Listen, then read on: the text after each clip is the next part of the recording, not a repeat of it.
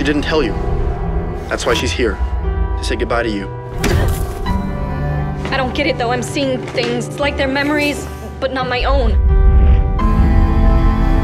Tell me what happened in Mom's study. I know something happened.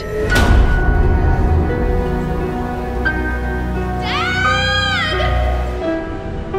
Is that what you want? For her to remember?